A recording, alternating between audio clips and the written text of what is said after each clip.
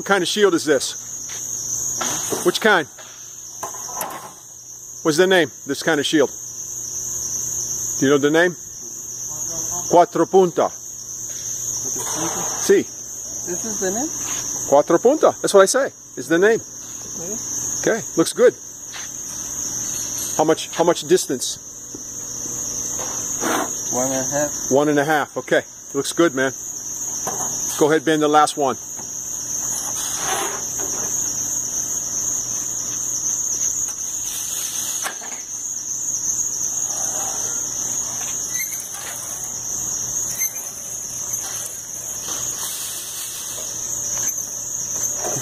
Looks good, man.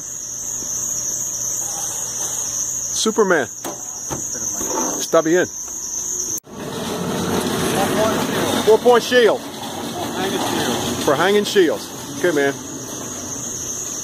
This is uh, probably step two in the operation where he's marking out proper distance on the chain to make sure that um, it hangs the right distance from the, you know, from the wall, the chain's not exposed. And then he's going to take this heavy chain and watch your eyes.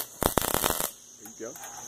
I can't put a real, real hard weld on it or it will burn up the shield. There you go.